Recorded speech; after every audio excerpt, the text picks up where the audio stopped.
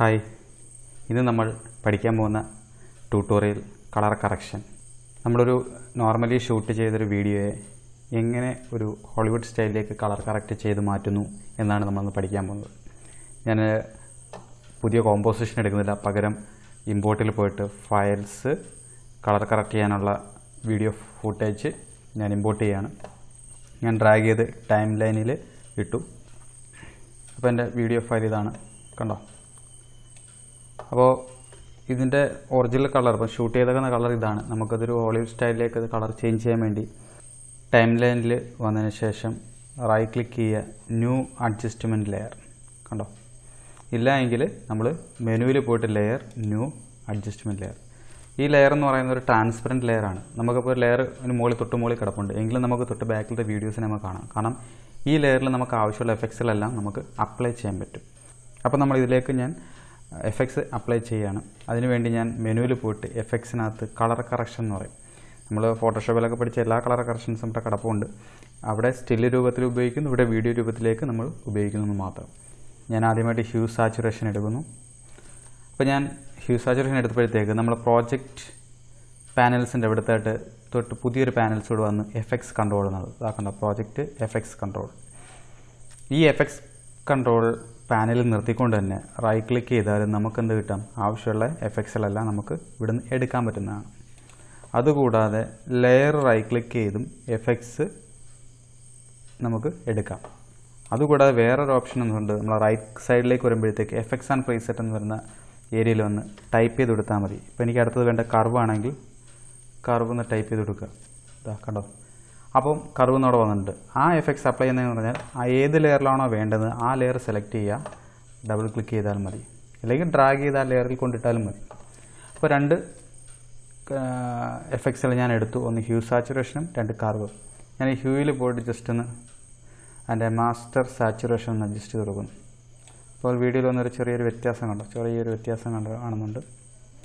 Okay രണ്ടാമത് ഞാൻ കർവിൽ വന്നതിന് ശേഷം ജസ്റ്റ് ഇതാ കണ്ടോ? കർവ് പോയിന്റ് ഒന്ന് ജസ്റ്റ് ഒന്ന് അഡ്ജസ്റ്റ് ചെയ്യണം അപ്പോൾ വീഡിയോയിൽ ഒന്ന് വ്യത്യാസം നോക്കാം. ഹ്യൂ നമുക്ക് ആ ഹ്യൂ സാച്ചുറേഷൻ എഫക്ട്സ് ഓഫ് ചെയ്യാം. ഇതാ ഹ്യൂവിൽ കർവിൽ ഒന്ന് വ്യത്യാസം കണ്ടോ? ഓക്കെ അപ്പം നമ്മൾ ഒറിജിനൽ വീഡിയോ ഒന്ന് ഓഫ് ചെയ്ത് ഓൺ ചെയ്ത് നോക്കാം. ഇതാ കണ്ടോ? ഇതൊന്ന് വ്യത്യാസം കണ്ടോ ഇതിനെയാണ് കളർ കറക്ഷൻ എന്ന് പറയുന്നത്. നമുക്ക് എങ്ങനെ വേണമെങ്കിലും നമുക്കൊരു വീഡിയോയ്ക്ക് കളർ കറക്റ്റ് ചെയ്ത് കൊണ്ടുപോകാൻ പറ്റും. നമുക്കൊരു വീഡിയോ ഷൂട്ട് ചെയ്ത് കഴിഞ്ഞാൽ എങ്ങനെ? നമുക്ക് ആ കുറച്ചും കൂടെ ഒരു ഭംഗി കിട്ടാൻ വേണ്ടി കളർ കറക്റ്റ് ചെയ്യുന്നത് മാത്രം. ഓക്കെ അപ്പോൾ കളർ കറക്ഷൻ എന്താണെന്ന് മനസ്സിലായി വിശ്വസിക്കുന്നു. അടുത്ത ടോപ്പിക് എന്ന് പറയുന്നത് ഡേ ആൻഡ് നൈറ്റ് അതിന്റെ ഒരു വീഡിയോ നമുക്കൊന്ന് കാണാം. ഇതാ പകൽ ഷൂട്ട് ചെയ്തൊരു വീഡിയോ ഫയലിന് ഞാൻ നൈറ്റ് രാത്രി ആക്കിയിട്ടുണ്ട്. കണ്ടോ? അപ്പം ഇതെങ്ങനെയാണ് നമുക്ക് ചെയ്തതെന്ന് നമുക്ക് നോക്കാം. ഓക്കെ ഞാൻ സോഫ്റ്റ്വെയറിലേക്ക് പോകുന്നു. ഇമ്പോർട്ട് ഫയൽസ് ഡയറക്റ്റ് ഞാൻ കോമ്പോസിഷൻ എടുക്കാതെ ഇമ്പോർട്ട് ചെയ്യാണ്. ഡ്രാഗ് ചെയ്ത് ടൈം ലൈനിലിട്ടു ഇട്ടതിന് ശേഷം ഞാൻ ലെയർ റൈറ്റ് ക്ലിക്ക് ചെയ്യുന്നു. എഫക്ട്സ് കളർ കറക്ഷനിൽ പോയിട്ട് ഹ്യൂ സാച്ചുറേഷൻ അപ്ലൈ ചെയ്യുന്നു. വീണ്ടും റൈറ്റ് ക്ലിക്ക് ചെയ്യുന്നു. എഫക്ട്സ് കളർ കറക്ഷൻ കർവ്സ് എടുക്കുന്നു ഇവിടെ ഹ്യൂ സാച്ചുറേഷനിൽ പോയിട്ട് ജസ്റ്റ് ഒന്ന് അഡ്ജസ്റ്റ് ചെയ്യുന്നു. ഓക്കെ കറിവിൽ വന്നതിന് ശേഷം ഞാൻ എന്താ ജസ്റ്റ് അഡ്ജസ്റ്റ് ചെയ്യാണ്.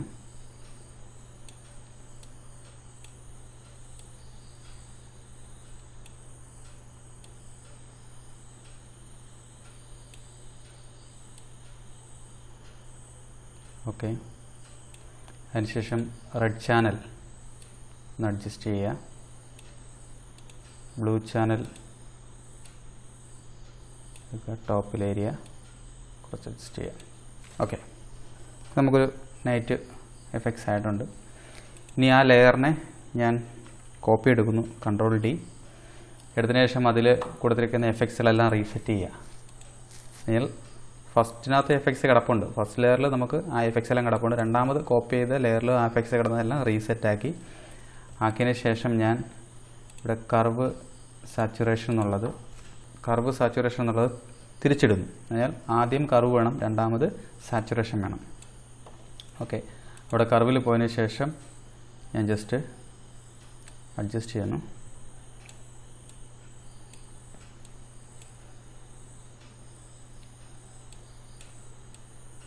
ഓക്കെ. അതിനുശേഷം സാച്ചുറേഷനിൽ പോയതിന് ശേഷം കളറൈസ് ടിക്കോൺ ചെയ്യുക. ഒരു ബ്ലൂ ടിന്റ് കിട്ടുന്നത് വരെ അഡ്ജസ്റ്റ് ചെയ്യുക. ഓക്കെ അതിന്റെ കളറൈസ് സാച്ചുറേഷൻ അഡ്ജസ്റ്റ് ചെയ്യാം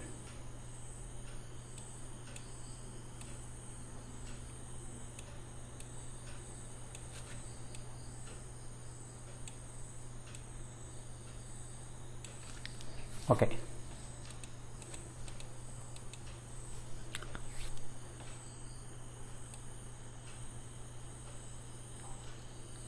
അതിനുശേഷം ഞാൻ രണ്ടാമത് എടുത്ത ലെയറിൽ മാസ്ക് അപ്ലൈ ചെയ്യാം. മാസ്ക് അപ്ലൈ ചെയ്യാൻ വേണ്ടി ആ ലെയർ സെലക്ട് ചെയ്യുക. നമ്മൾ റെക്റ്റാങ്കിൾ ടൂൾ എടുത്തിട്ട് ഞാൻ പുറമേ നിന്ന് കുറച്ച് വരച്ച് കൊടുക്കുന്നു. അതിനുശേഷം മാസ്കിനകത്ത് പോയിട്ട് മാസ്ക് ഫെദർ അഡ്ജസ്റ്റ് ചെയ്യുക. ഓക്കെ എനിക്ക് ഔട്ട് ഇങ്ങനെയാണ് കിട്ടിയേക്കുന്നത്. അപ്പോൾ നമുക്ക് നൈറ്റ് ആയിട്ടുണ്ട്. ഇനി നമുക്കിതിനെ ലൈറ്റ് അപ്ലൈ ചെയ്യാം. അതിനുവേണ്ടി ഞാൻ ന്യൂ സോളിഡ് ഇവിടെ light light G H light okay colour ഒരു ഗ്രേ കളർ കൊടുക്കുന്നു. ഓക്കെ അതിനുശേഷം ഞാനിവിടെ എഫക്സ് കൺട്രോൾ പോയിട്ട് റൈറ്റ് ക്ലിക്ക് ചെയ്യുക. പെർസ്പെക്റ്റീവിനകത്ത് പോയിട്ട് C C spot light okay അതിന്റെ ടോപ്പിൽ ആ ലൈറ്റിനകത്ത് തന്നെ ഒരു റൈറ്റ് സൈഡിലോട്ട് വരുമ്പോഴത്തേക്ക് ഒരു ചെറിയൊരു പോയിന്റ് കിടപ്പുണ്ട്. ആ പോയിന്റ് ഒന്ന് ടോപ്പിലേക്ക് അഡ്ജസ്റ്റ് ചെയ്ത് വയ്ക്കുക അതിനുശേഷം ഇതൊരു ഹൈറ്റ് ഒന്ന് അഡ്ജസ്റ്റ് ചെയ്യുക. എവിടെ ഒരു പോയിന്റ് ഉണ്ട് ആ പോയിന്റ് കൂടെ അഡ്ജസ്റ്റ് ചെയ്തതിന് ശേഷം ഹൈറ്റ് അഡ്ജസ്റ്റ് ചെയ്യുക. അതിന്റെ കോൺ ആംഗിൾ അഡ്ജസ്റ്റ് ചെയ്യുക. അതിന്റെ ഫെദർ ലൈറ്റിന്റെ ഫെദർ ഒന്ന് അഡ്ജസ്റ്റ് ചെയ്ത് കൊടുക്കുക. ഓക്കെ അതിനുശേഷം റണ്ടർ അതിനകത്ത് തന്നെ റണ്ടർ എന്നുള്ളത് ലൈറ്റ് ഷാഡോ മാറ്റിയിട്ട് ലൈറ്റ് ഒള്ളി ആക്കി കൊടുക്കുക. നമുക്ക് ലൈറ്റ് ലെയറുമായിട്ട് നമ്മൾ ഫുട്ടേജായിട്ട് മൾട്ടിപ്ലൈ ആയിട്ടുണ്ട്.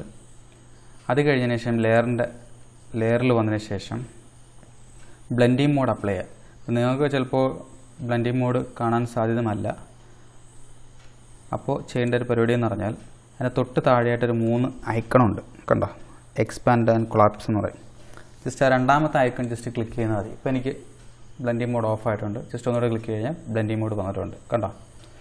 അപ്പം കിട്ടാത്തവർ ആ രണ്ടാമത്തെ ഓപ്ഷനിൽ ജസ്റ്റ് ഒന്ന് ക്ലിക്ക് ചെയ്താൽ മതി. ബ്ലെൻഡിങ് മോഡ് അവിടെ വരും ലെയറിൽ വരും. ബ്ലെൻഡിങ് മോഡിൽ ഞാൻ ക്ലാസിക് കളർ ഡോട്ട്സ് അപ്ലൈ ചെയ്യുന്നു. അപ്പോൾ എനിക്ക് ലൈറ്റ് വളരെ കുറച്ചേ ഉള്ളൂ. ഞാൻ അത് എഫക്സിൽ പോയിട്ട് അതിന്റെ ഇന്റൻസിറ്റി ഒന്ന് കൂടുതലായിട്ട് കൊടുക്കുന്നു. കൂടുതലായിട്ട് സെറ്റ് ചെയ്യുന്നു അഡ്ജസ്റ്റ് ചെയ്യുന്നു. ഓക്കെ അതിനുശേഷം ലെയർ ത്രീ ഡി ആക്കുന്നു. റൊട്ടേഷൻ ഞാൻ അഡ്ജസ്റ്റ് ചെയ്യണം എപ്പോഴും ചെയ്യുമ്പോൾ ശ്രദ്ധിക്കണം. ടൈം ലൈൻ സ്റ്റാർട്ടിംഗ് ആണോ നോക്കണം. ഇല്ലെങ്കിൽ നിങ്ങൾക്ക് ചെയ്യുന്ന അനിമേഷനിൽ എറർ സംഭവിക്കും. ഇപ്പം ഞാൻ അഡ്ജസ്റ്റ് ചെയ്ത് റൊട്ടേറ്റ് ചെയ്ത് വെച്ചു.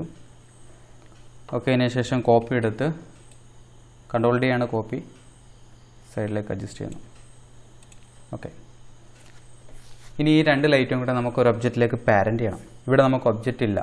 അപ്പോൾ നമുക്ക് ഒരു ഒബ്ജക്റ്റ് ക്രിയേറ്റ് ചെയ്യണം. ഇപ്പോൾ പാരന്റ് എന്താണെന്ന് ചിലർക്ക് മനസ്സിലാവത്തില്ലായിരിക്കും. അത് അറിയണമെങ്കിൽ രണ്ടാമത്തെ പാർട്ട് ശ്രദ്ധിച്ചാൽ അറിയാൻ പറ്റും. ഞാൻ ലിങ്ക് ഡിസ്ക്രിപ്ഷനിൽ ഇടുന്നുണ്ട്. അപ്പം വാച്ച് ചെയ്താൽ മതി. പാരന്റിങ്ങിനെ കുറിച്ച് കൂടുതലായിട്ട് അതിൽ പറഞ്ഞിട്ടുണ്ട്. അപ്പോൾ ഇവിടെ ഞാൻ പാരന്റിന് വേണ്ടി ഒരു നൾ ഒബ്ജക്റ്റ് എന്ന് പറയും. ഒരു ഒബ്ജക്റ്റ് ക്രിയേറ്റ് ചെയ്യണം. അതിന് വേണ്ടി റൈറ്റ് ക്ലിക്ക് ചെയ്യുക. ലെയറിൽ റൈറ്റ് ക്ലിക്ക് ചെയ്യുക. നൾ ഒബ്ജക്റ്റ് എടുക്കുന്നു. നൾ ഒബ്ജക്റ്റ് എന്ത് ചെയ്യുക? ത്രീ ഡി ആക്കുക. ത്രീ ഡി ആക്കിയതിന് ശേഷം നമ്മുടെ ആക്റ്റീവ് ക്യാമറ കണ്ടോ? ആക്റ്റീവ് ക്യാമറയിൽ പോയിട്ട് ടോപ്പ് ആക്കിയതിന് ശേഷം ഇത് ടോപ്പിലേക്ക് അഡ്ജസ്റ്റ് ചെയ്ത് വയ്ക്കുക അതിനുശേഷം ആക്റ്റീവ് ക്യാമറ ആക്കുക. ഇനി ഈ രണ്ട് ലെയർ ലൈറ്റിന്റെ രണ്ട് ലെയറോടെ സെലക്ട് ചെയ്യുക. ഡ്രാഗ് ചെയ്ത് നൾ ഒബ്ജക്റ്റിലേക്ക് എന്ത് ചെയ്യുക? പാരന്റ് ചെയ്യുക. കണ്ടോ? കൊടുക്കും ഇനി ആ നൾ ഒബ്ജക്റ്റ് സെലക്ട് ചെയ്തിട്ട് റൊട്ടേഷൻ എടുത്ത് നോക്കേ. എന്റെ ഒബ്ജക്റ്റ് എങ്ങോട്ടാണോ വേണ്ടത് ആ നൾ ഒബ്ജക്റ്റിനെ ബേസ് ചെയ്ത് പാരന്റ് രണ്ട് ലൈറ്റിലും ഒരേപോലെ പാരന്റ് ആയി കഴിഞ്ഞു. ഇനി നമുക്കിവിടെ പൊസിഷൻ സ്കെയിൽ ഇതിന്റെ എല്ലാം shortcut position P scale S or rotation R short കട്ടുകളാണ് അപ്പോൾ ഇതിന് മൂന്ന് പൊസിഷൻ സ്കെയിൽ ഓറിയന്റേഷന് കീ കൊടുക്കുന്നു. കീ എടുത്ത കീ കൊടുത്തതിന് ശേഷം വൺ ബൈ വൺ ഫ്രെയിമായിട്ട് നമ്മളിതിനെ കീ കൊടുത്ത് സെറ്റ് ചെയ്യണം. അതിനാൽ പേജ് ഡൗൺ ആണ് നെക്സ്റ്റ് ഫ്രെയിമായിട്ട് നമ്മൾ ഷോർട്ട് കട്ട് ഉപയോഗിക്കുന്നത് page down one by one ഫ്രെയിമായിട്ട് നമുക്ക് കിട്ടുന്നത്.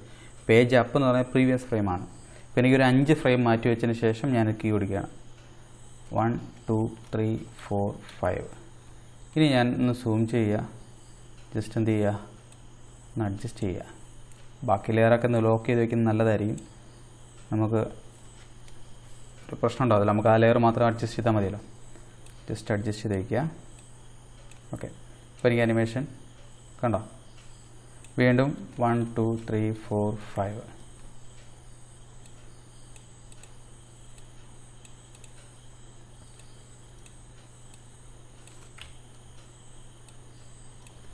one two three four five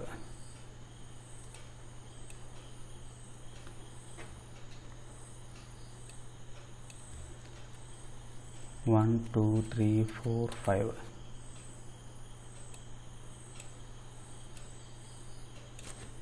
one two three four five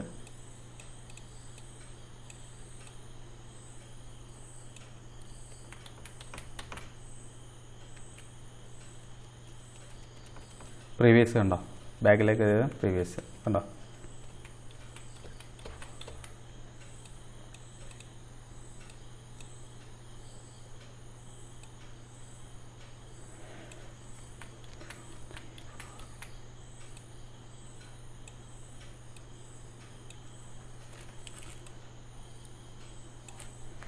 കുറച്ച് കഴിഞ്ഞ് വരുമ്പോഴത്തേക്ക് അതിന്റെ സ്കെയിൽ കുറച്ച് അഡ്ജസ്റ്റ് ചെയ്യാം. നമ്മൾ അടുത്തേക്ക് വരുമ്പോഴത്തേക്ക് ലൈറ്റിന് കുറച്ചുകൂടെ സ്കെയിൽ കിട്ടണമെങ്കിൽ കുറച്ച് വലുതാവണമെങ്കിൽ ആ സ്കെയിൽ ഒന്ന് അഡ്ജസ്റ്റ് ചെയ്യാം അപ്പോൾ നൂറാ കിടക്കുന്ന ഒരു നൂറ്റി അഞ്ചാക്കി കൊടുക്കുക. അപ്പോൾ ജസ്റ്റ് ഒരു അഡ്ജസ്റ്റ്മെന്റ് ഒക്കെ നടത്തേണ്ടി വരും.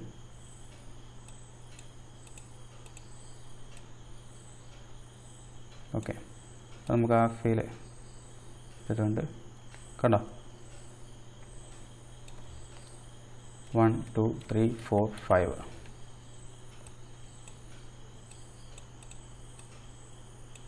okay one two three four five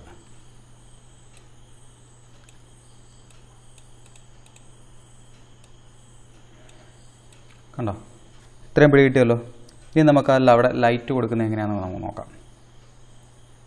അപ്പം ലൈറ്റ് കൊടുക്കാൻ വേണ്ടി സ്റ്റാർട്ടിങ് ഫ്രെയിമിൽ കൊണ്ട് വെച്ചു ന്യൂ സോളിഡ് അവിടെ കാർ ലൈറ്റ് ബ്ലാക്ക് ആക്കുന്നു ഓക്കെ എഫ് എക്സിൽ പോവുക അവിടെ ജനറേറ്റിനകത്ത് ലെൻസ് ഫ്ലെയർ എന്ന് പറയും. ജനറേറ്റിനകത്ത് ലെൻസ് ഫ്ലെയർ ജസ്റ്റ് അപ്ലൈ ചെയ്യുക അവിടെ ലെൻസ് ടൈപ്പ് ഞാനൊരു നൂറ്റി അഞ്ച് എം എം പ്രൈം അപ്ലൈ ചെയ്യുന്നു. അതിന് സെന്റർ പോയിന്റ് ഉണ്ട്. ആ പോയിന്റ് പിടിച്ച് കറക്റ്റ് സെന്ററിലേക്ക് കൊണ്ടുവയ്ക്കുക. അതിനുശേഷം ഇതിനകത്തേക്ക് കളർ കറക്ഷനിൽ പോയിട്ട് കർവ് എടുക്കുക. ഗ്രാഫ് ജസ്റ്റ് ഒന്ന് അഡ്ജസ്റ്റ് ചെയ്യാം.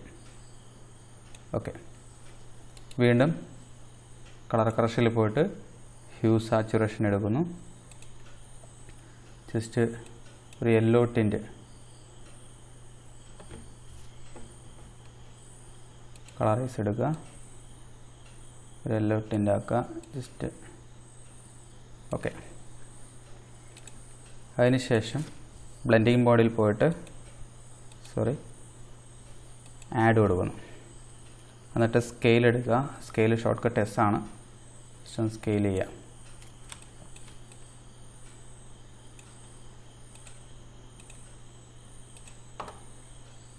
പത്തൊമ്പത് പതിനഞ്ച്. ഓക്കെ കോപ്പി കൺട്രോൾ ഡി ആണ്. പ്രസറിൽ അഡ്ജസ്റ്റ് ചെയ്യുക. പ്രസറിലാകുമ്പോൾ കുറച്ച് വളരെ ചെറുതായിരിക്കും. അപ്പോൾ സ്കെയിൽ അഡ്ജസ്റ്റ് ചെയ്യുക. പതിനഞ്ച് എന്നുള്ളൊരു പതിമൂന്നാണ് കൊടുക്കുക. ഓക്കെ കണ്ടോ?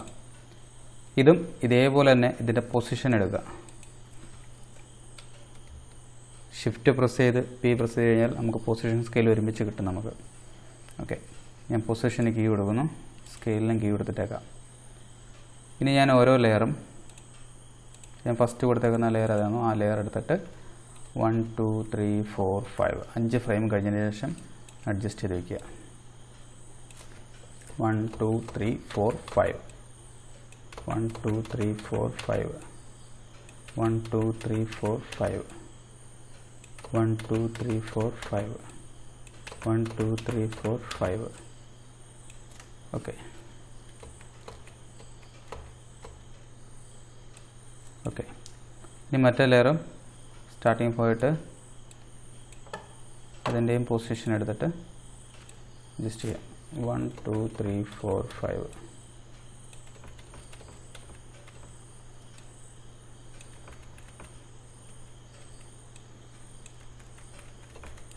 നമ്മൾ ഒരുപാട് ഡിസ്റ്റൻസ് ഒക്കെ ഇട്ട് ചെയ്ത് കഴിഞ്ഞാൽ ഇപ്പം ലൈറ്റിന്റെ ജെർക്കിംഗ് ഉണ്ടാവും. അതുകൊണ്ടാണ് ഒരു അഞ്ച് ഫ്രെയിം അക അതിന് അഞ്ച് ഫ്രെയിമിനകത്ത് വെച്ച് ഞാൻ കീ ഫ്രെയിം കൊടുത്തേക്കുന്നത്. ഓക്കെ ഞാൻ സൂം ഔട്ട് ചെയ്തൊക്കെ. കണ്ടോ? അപ്പം പകൽ ഷൂട്ട് ചെയ്തൊരു ഫയലിനെ നമ്മൾ നൈറ്റ് കാർ ലൈറ്റ് എത്തിച്ചൊക്കെ ഒട്ടിക്കുന്ന ഒരു എഫക്ട്സ് നമ്മൾ പഠിച്ചു.